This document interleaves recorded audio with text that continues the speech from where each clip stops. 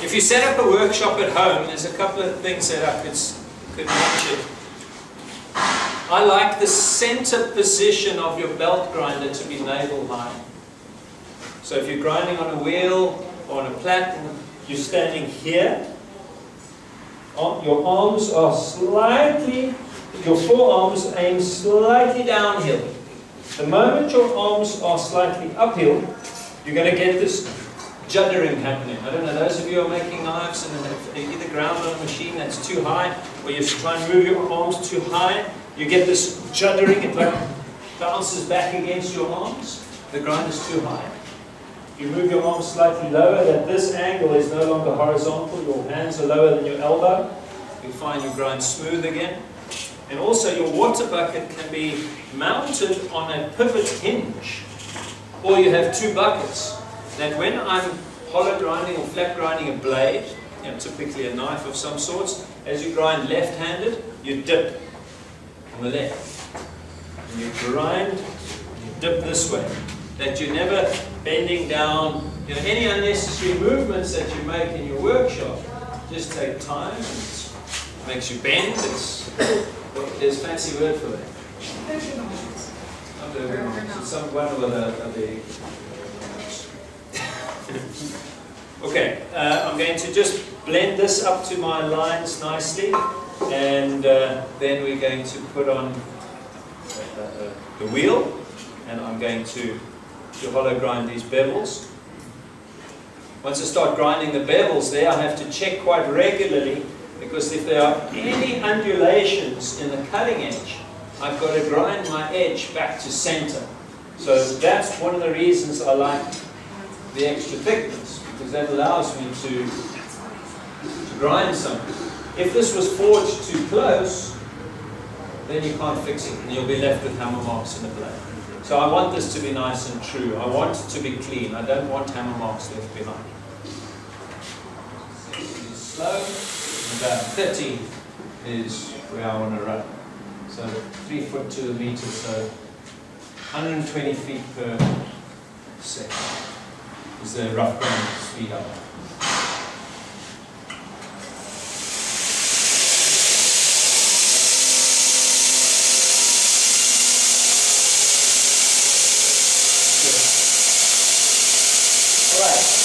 So I'm just going to start out really carefully and get my, let's call in the datum. The center line, everything must be true before I can start grinding up to the center line here. Edges first, and then the grind height. Ah, forgive me. We wanted to angle grind this first. We wanted to knock the skirt back. How important is not over, overheating the blade now to me? And the answer is not, not really important. It's only after this blade has been hardened and tempered that I'm going to take particular care over not heating mean, that tip has turned blue. Now, one doesn't want to intentionally allow it to turn blue, especially down in the main part of the blade, and the only reason for that is it's not got nothing to do with uh, damaging the steel, but it does put some form of internal stresses in there.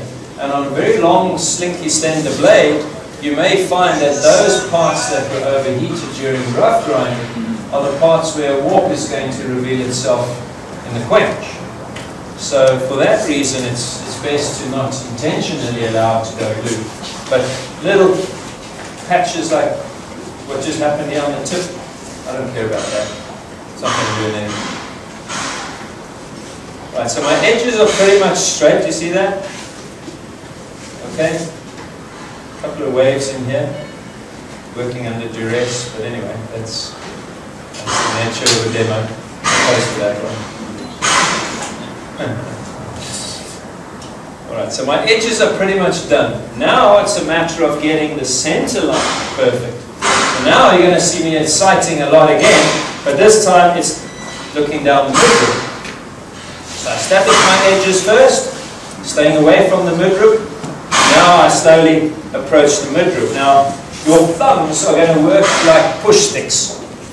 If I want the edge to grind thinner, my thumbs are going to be there. If I want to grind closer to the spine, I move my thumbs towards the spine. It's going to encourage the blade to grind in the direction that I'm pushing. But what you don't want to do is to change the angle of the knife against the wheel, because then you're going to get facets. You want to just encourage it to grind in the direction you want to go. Not grind a bunch of facets. It mustn't look like the, the top face of a diamond, all these angles and so on. It must be one smooth, uniform surface right across the width of your grind. Okay, that, that is a tricky thing. And and grinding a blade properly does take practice. One still has to concentrate. You know, I've been doing this for you know 35 years since a boy. Grinding can still mess up. You lose concentration, you've got to stop and have a rest. Right, let's see what we do. On anybody's machine and grinding The moment you, or without your jig, you're at a loss. And sometimes those jigs don't work with certain blades. You know, if you've got a, let's say a, a Malaysian Kris, how are you going to grind that on a jig? You know, so uh, there's going to be challenges that, that you will easily overcome once you've had practice in freehand grinding.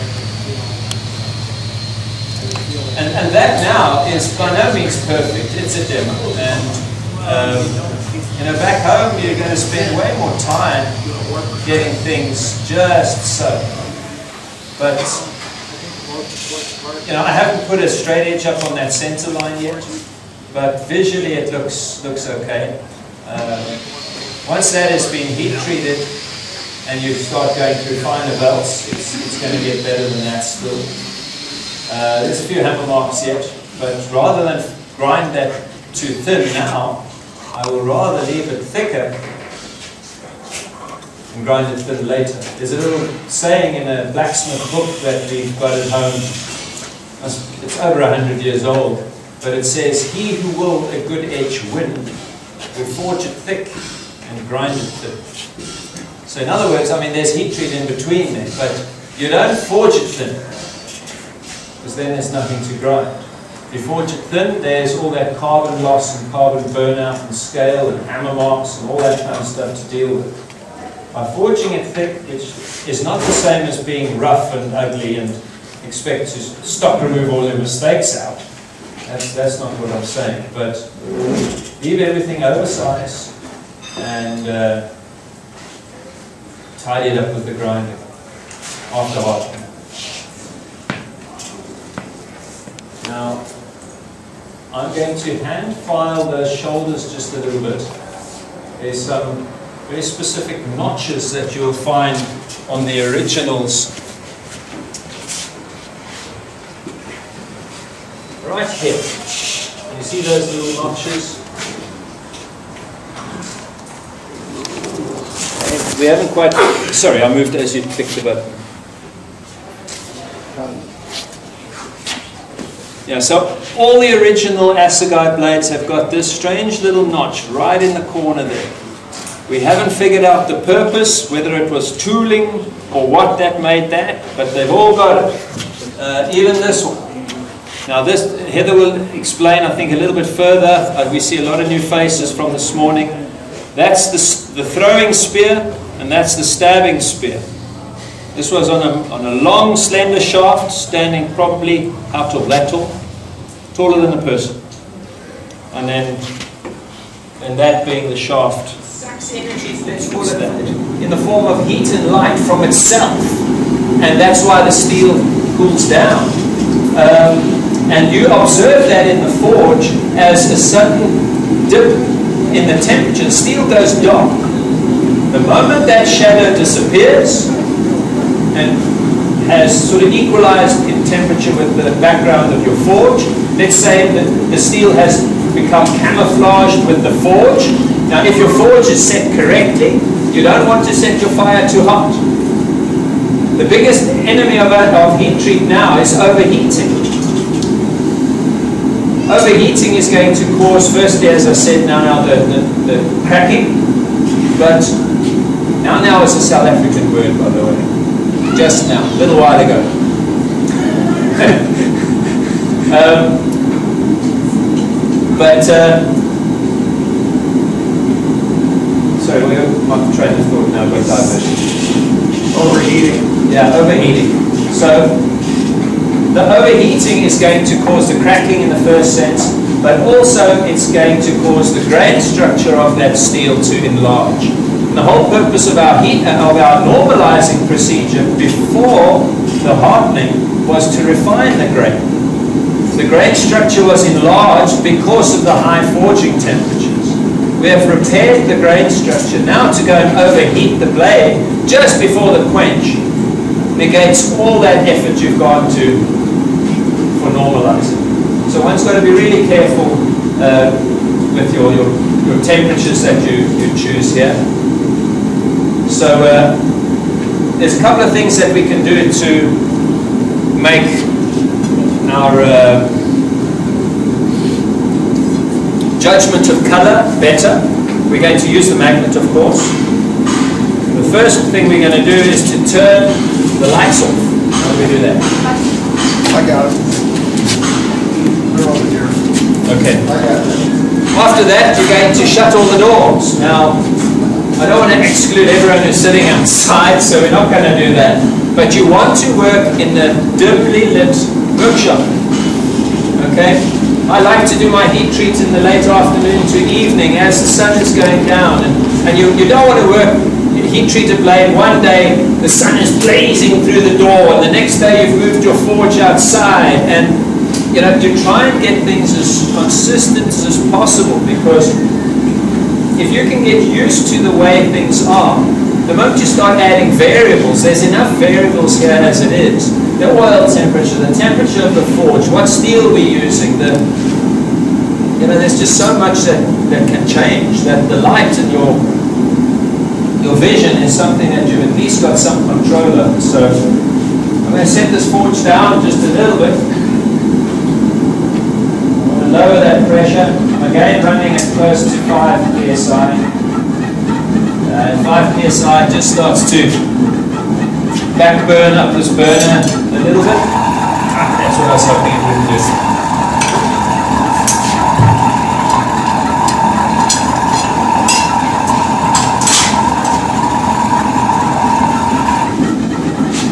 Kind of well like that. It's a medium quench speed that I've been told. I forget the name. The brand names here I'm unfamiliar with. Uh, those of you who are familiar with this workshop, do you know? Do you know? Right now, before I I'm going to put this tang in the fire first. Now I've got a cold section way back here. So I'm going to put the tip of the tang into this region with this heavy section here close to a burner, but not directly under the burner itself. I don't want the hot flames straight onto my blade. So the tip of the blade is out. Being thin, it can overheat real easy, so I'm going to protect that. The tip of the tang, I'm not going to heat treat anyway, so that's in the cold zone within the bricks here. So once that thick, heavy section where that wide blade starts has started to give me some color, then I'm going to turn it around and let, allow the tip of the blade to come up. Once again, my, my forge temperature is, is set just hot enough to give me the temperature I need. I don't want this thing screaming hot. If your forge is running way, way over temperature, the chances are that the thin sections of your blade are going to reach temperature first, while the thick, heavy sections are still too cold, is very good. So you want your forge set as close to the correct hardening temperature as possible. That way the risk of overheating the thin sections has been minimized.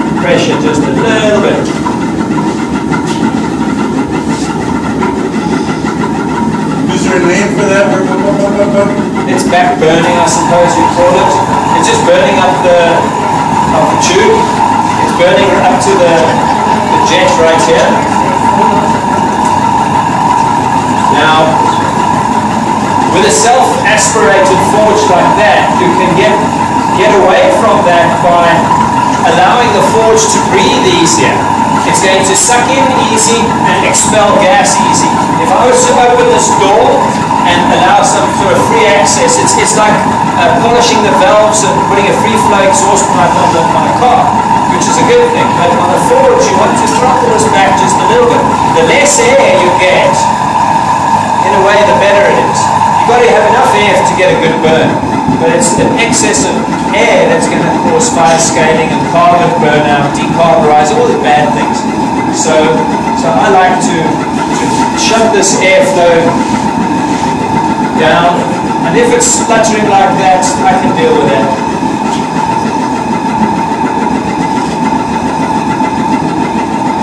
One can do some stuff like flaring the nozzles of your burner, uh, giving them a slight cone.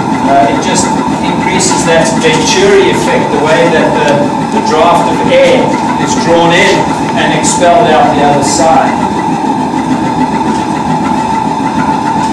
By creating a nozzle at the tip, it makes a low pressure zone right there where the flame comes out, causing know, a, a, a draft in the right direction. You said that the oil was about 200 degrees Fahrenheit? Yeah, it's probably a little bit on the hot side. It sounds like kind of hot. You're about, what, 95 97 centigrade? It's original. I mean, it sounds hot for somebody to stick their finger in it. It's 100, it's 100 degrees. Close to- It's not. Yeah, so it's a little bit on the hot, hot side. Um, I'm hoping that some of the cold stuff at the bottom will do its thing. But providing that the temp, the oil temperature is less than the temperate temperature that I want. Now I'm wanting a spring temper on this on this particular blade, which in degrees C is going to be about 300. What's that in Fahrenheit? 475 or more. Somebody could work it out. Um, you know, spring temper is close to 300 degrees, so if I'm quenching into 100 here, that's good. Because I never, if I quench it and I allow this blade to get too cold, that's when cracking becomes a risk again. What is 300 C? I'm trying to get there.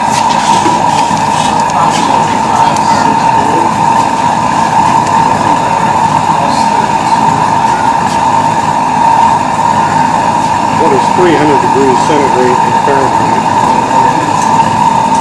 It's 572. 572 degrees Fahrenheit. 500 what? 572. So that's what we'll be wanting to temper this blade at. I'm looking for my magnet now, right? Now when we go to the quench, we want to have gloves on.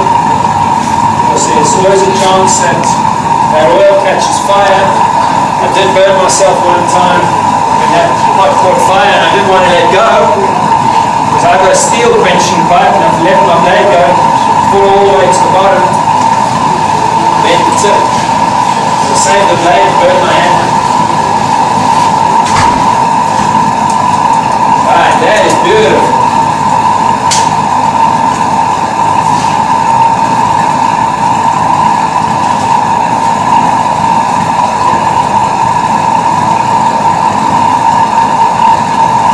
Watch it carefully now. I don't want to overheat it.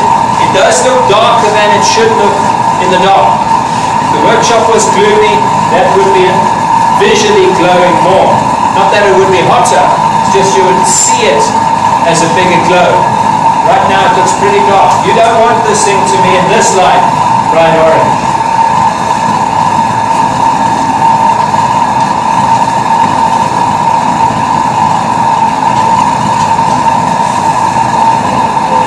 test it quickly. Don't, don't take that whole blade out of the forge. Go and look for a magnet. By the time you touch it, it's cooled down. It's going to be non-magnetic, but it may have been correct, but now it's, you just waited too long. This is a long blade, and to get that whole blade evenly heated over its entire ring is what's going to be tricky. Going to crank up the pressure just a little bit, move the blade backwards and forwards more. No, more quickly.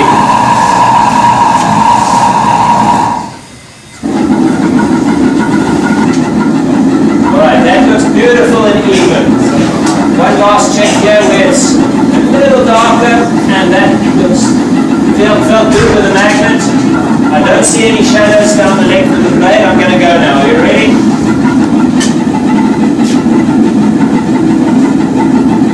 To where my quench needs to be hard.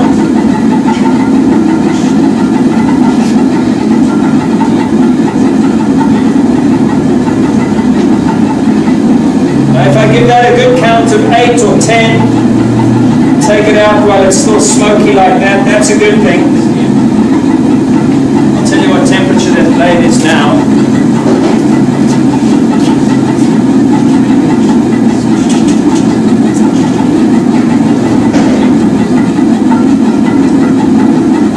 Four fifty. See, so that there's not going to crack so easily because it's hot. If you left that in there and your oil was cold and you allowed it to come all the way down to room temperature just in one go, the chances are that it could very easily crack.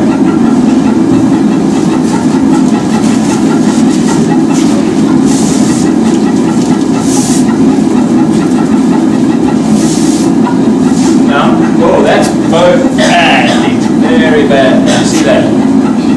Now one can tweak that gently. I don't like doing that. But while it's hot like this,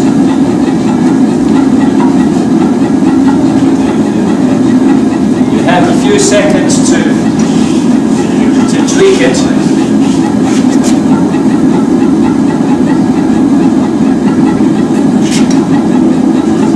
Look at that.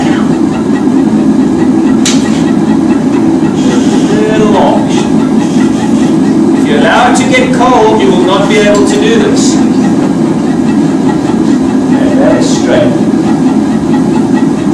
Right, so that's one of the advantages in, in a hot, hot oil and taking it out before it's allowed to cool all the way down. That martensite, which is the hard structure that we're wanting to form during heat treat, hasn't fully established itself until this thing has cooled down properly. So that, that can be a very valuable lesson. If I were to test this for hardness with a file, you'd, you'd think you haven't hardened your blade properly. If you test that, it's still soft. By the time it cools down, and that martensite is fully formed, then the file will start. Okay.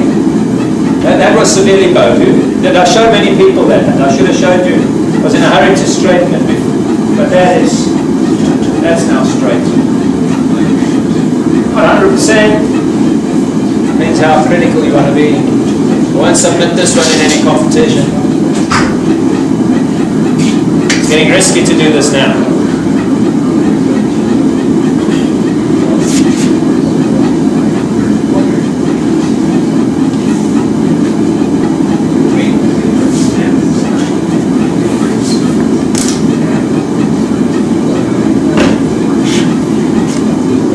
still 370 degrees.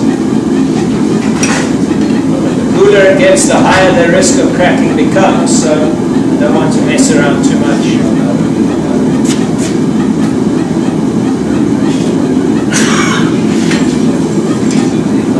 Alright, that's, that looks pretty good. Alright, I'm going to lay that aside cool down.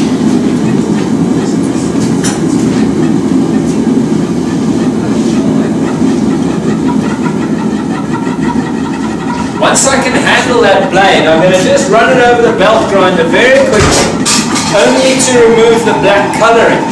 And then I'm going to flame temper it right here in front of the forge, which, be, because this is a spear and we are wanting a spring temper, is a convenient way to do that. The Rockwell hardness is not hyper, hypercritical.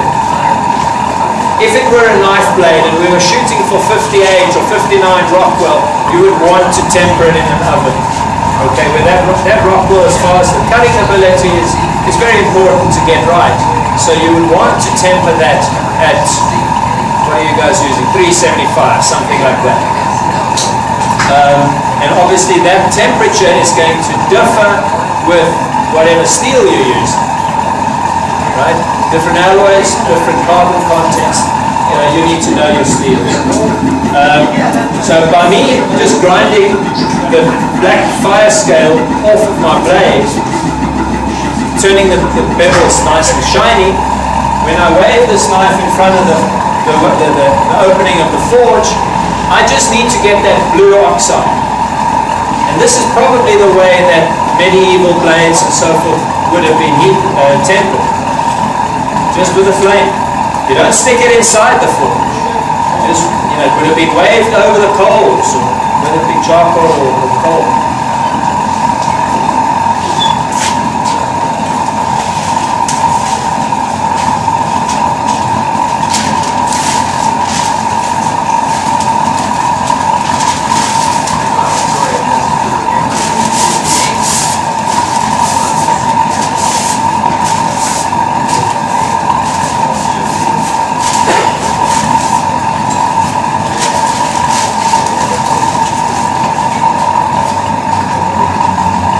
Risk just putting that in water.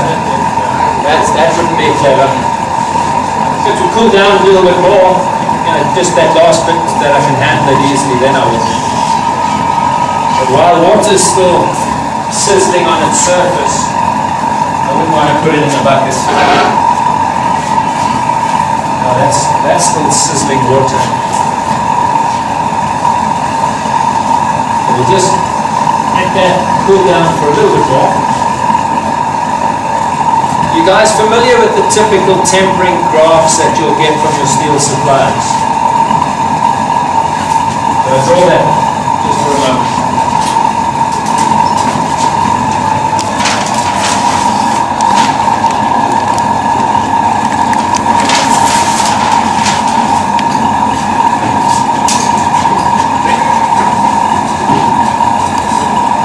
Every steel will have a very typical graph that looks like this. It starts out, and you guys see, not everyone will be able to see. On this axis here, axis here you've got Rockwell. The symbol is RC. This is Rockwell on the C scale. There are other scales, B scale.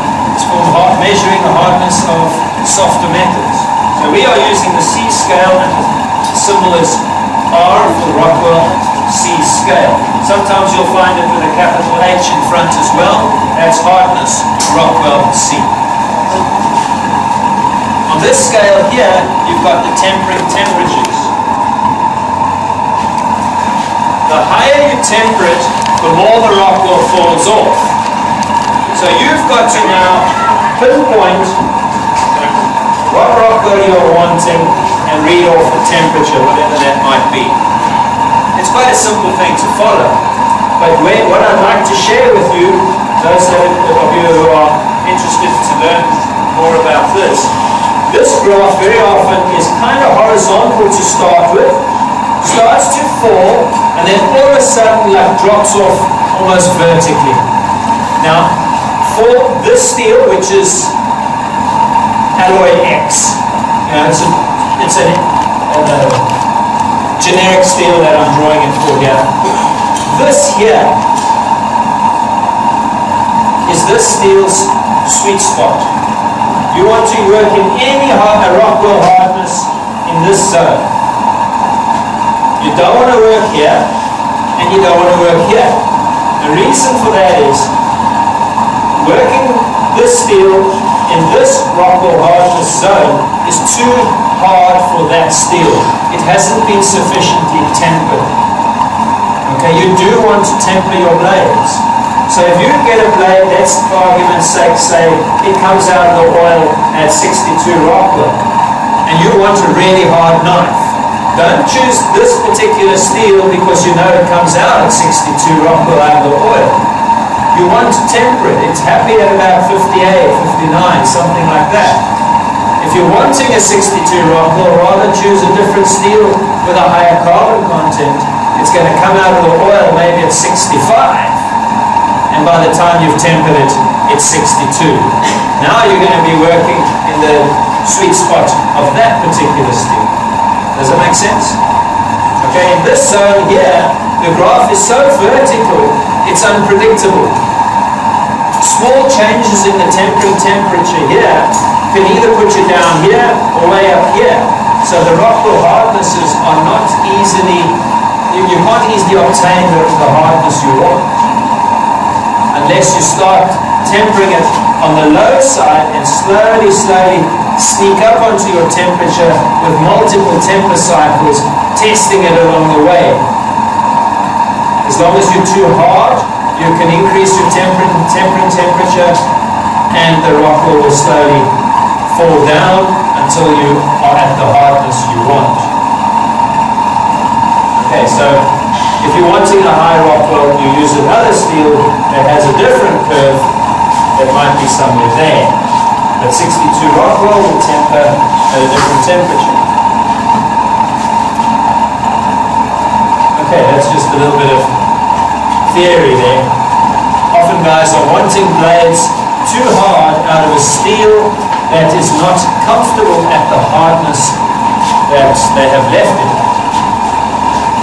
I mean, 5160, this spear, if we were to test that, that's likely to be 62 Rockwell. But I would hate to make a knife from 5160 and leave it at 62 Rockwell. It's just too hard for that steel.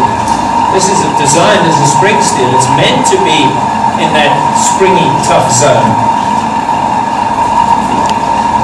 Okay, let's, I'll just, I'll tell you what temperature this is for now.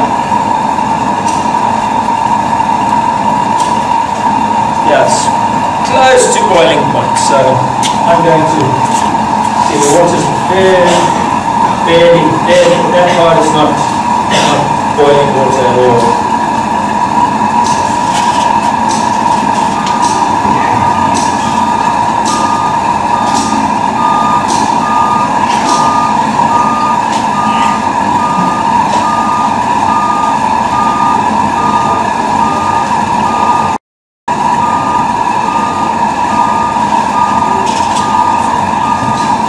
Now, something I happened to do just by the nature of me profiling this blade, and it wasn't a specific step that I made specific mention to, but in order to prevent stress cracks from the quench propagating in from the cutting edge, it's wise that just before your heat treat, you run your blade in the long direction along the belt grind.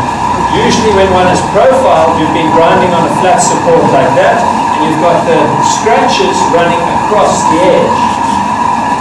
That's going to cause a stress crack because now you've got scratches across the short direction of the edge, and if the stress and the, the scratch and everything conditions are just perfect, they're going to propagate up through the with the blade. But by grinding these scratches in that long direction, now that crack hasn't got a, a pathway to follow. It can make the difference between that blade cracking or not cracking.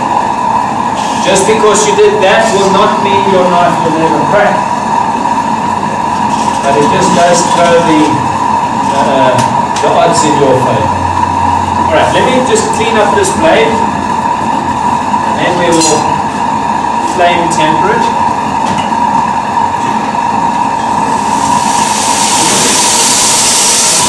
Right, so I haven't been over fussy, but you, you try and clean that up and uh, just make most of the blade shiny that by the time we go in front of the flames, we can uh, see the oxide colors. You guys familiar with those colors? I'm sure you are. Anyone who's heated steel will know that polished steel goes through a rainbow of colors as it increases in temperature. Those colors are directly related to temperature. So first you're going to get those very pale straw. You know, it's like barely golden. As that straw turns to a, darker and darker straw, you're going to get a bronze brown. Bronze brown is already very tough. It starts to lose that hardness, but it is still hard enough for a lot of blades. Bronze brown is a nice color for these big daggers and swords and stuff like that. I'm going to temper this to blue, which is just a little bit hotter.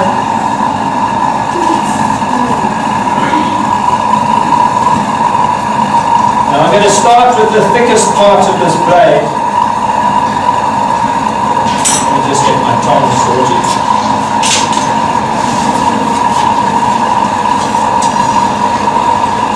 Right, so I'm just going to play this, this area here over the flames to start with.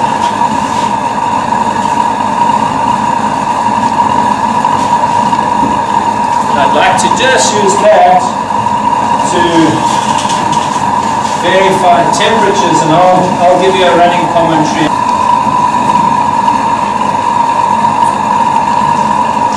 Once we start getting pretty colors, those of you with videos, if you want to come and get a nice shot of the colors, you're welcome to do that. Now realize the thin parts of the blade will heat up first.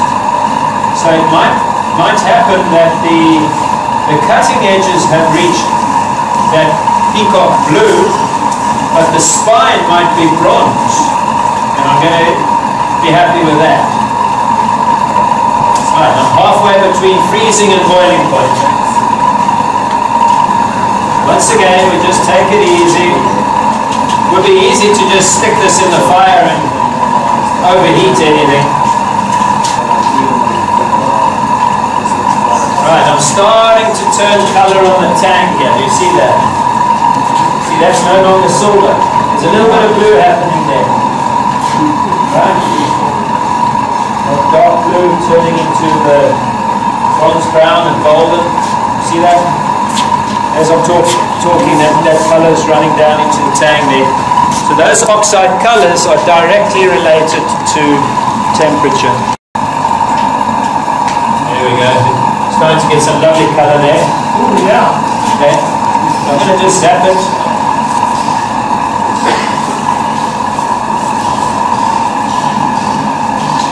One seventy-five is kind of what I'm getting in centigrade.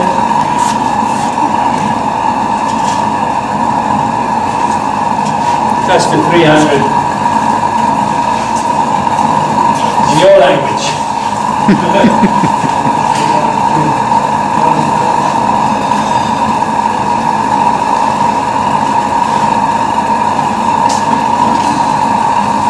Now to go much beyond the dark blue and into sky blue might be a little on the softer side than I'd like.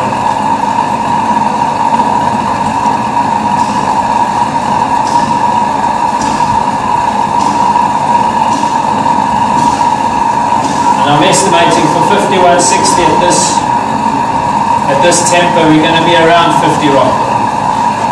Maybe 45.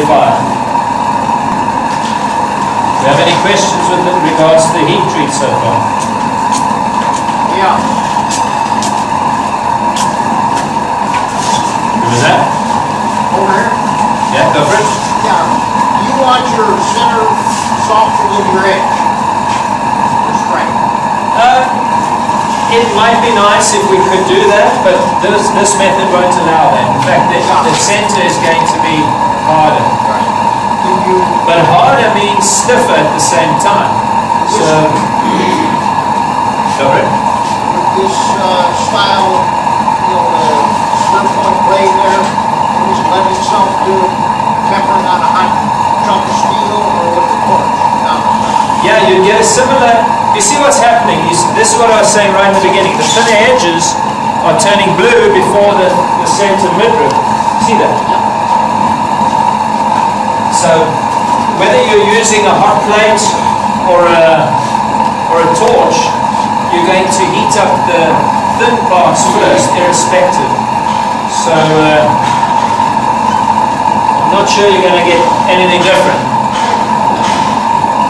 But what is important is that you take your time over this. You don't want to rush this.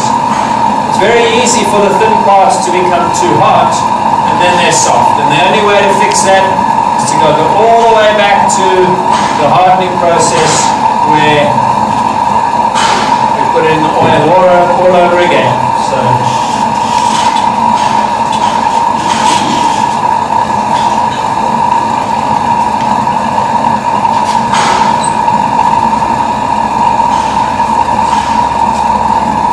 So bronze, brown, speckled dark blue, that's, that's good.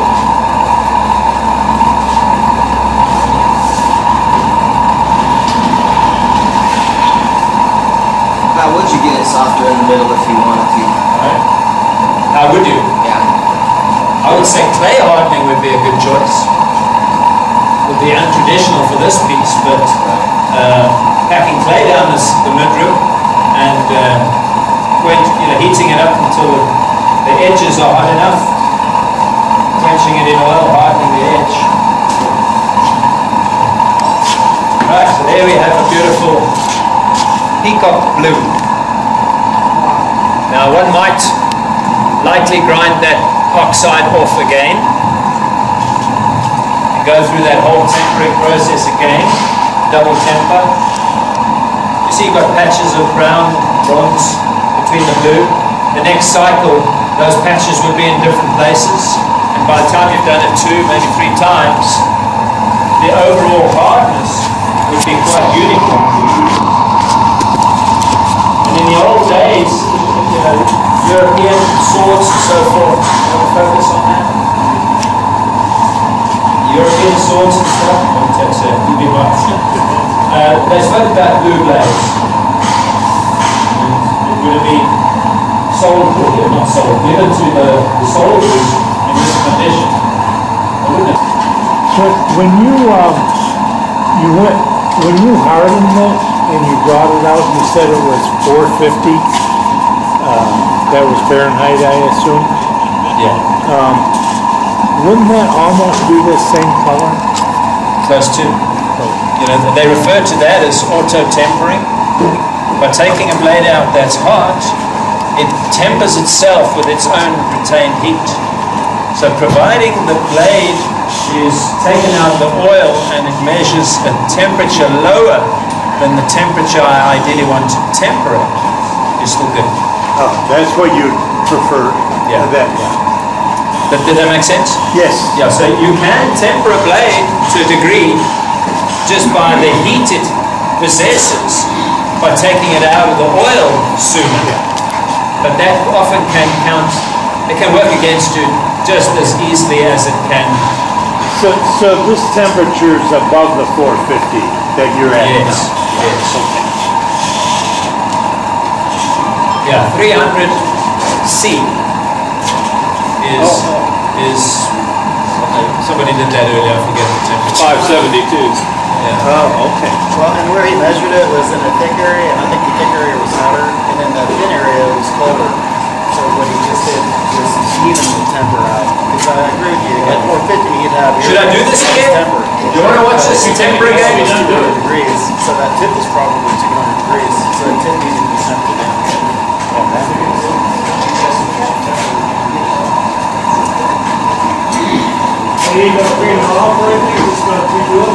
Uh, Yeah, I'll do it exactly the same as before. Now, once it's been tempered, one can put it in water a lot safer than straight out of the heat treat because it's no longer brittle. But I still am hesitant to give that steel a big fright. So I'll just do it gently. Now, if you're gonna retemper it, does it really matter if you wash it out? I can say, it, it, the steel is not, not brittle anymore. So if I If I re-quench it, you mean like now, the water? Yeah, that's no. But if you were gonna retemper it anyway, for demonstration, if you did it once, pull it out of there, got it tempered right, and then just punched it hot, would it, you retemper it, you'd be fine. Yeah, but, you know, I'm gonna grind it, so I wanna hold it in my hands. So, you, need to be able to hold it in your hands anyway. Um, yeah, so, I'm losing my train of thought, but tempering it, putting in the water is not gonna harm the blade now.